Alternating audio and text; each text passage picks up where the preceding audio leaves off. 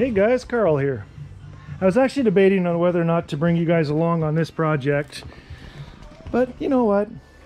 I brought you along on some much dumber shit than this. So I've got this rebar, which I might show you.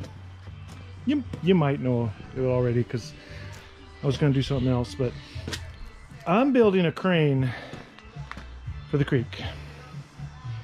It's going to be off of that redwood.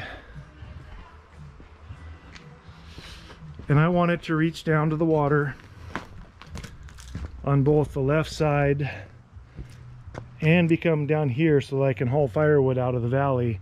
You know, there's 70 fucking yards or more of hillside that I have to carry wood out and there is no trail.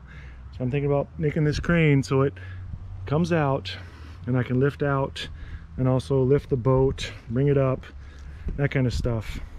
And uh, short of it is, I like I said, I wasn't really thinking about including you on this because who knows.